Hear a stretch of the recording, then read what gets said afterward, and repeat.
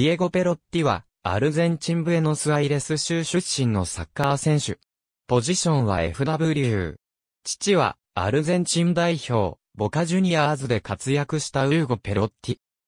幼少時にボカジュニアーズの下部組織に入団したが、12歳の時に CD モロンの下部組織に移った。2007年の FIFA U-20 ワールドカップ予選にはたびたび招集されたが、セルヒオ・アグエロ、マウロ・サラテ、パブロ・ピアッティなどの影に隠れ、本大会出場はならなかった。しかし、セリエ A のアタランタ BC と、リーガ・エスパニョーラのセビージャ FC からオファーが届き、2007年7月12日に、移籍金30万ユーロで、セビージャ FC に移籍した。2007から08シーズンは、セグンダディビシオンに属する、セビージャアトレティコで32試合に出場した。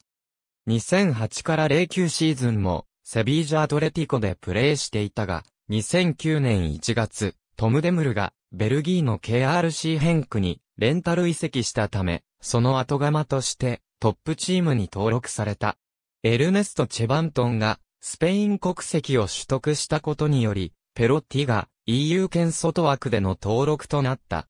リーグ戦初出場は2月15日の RCD エスパニオール戦で75分にフェデリコ・ファシオとの途中交代で出場した。2月21日のアトレティコ・マドリード戦では初めて先発出場し、2月28日のアスレティック・ビルバオ戦では初めてフル出場した。初出場から9試合連続で出場したが、4月22日の FC バルセロナ戦には出場しなかった。4月26日のレアルマドリード戦では対面するセルヒオ・ラモスに常に勝負を挑み、彼のクロスからレナトが先制ゴールを決めた。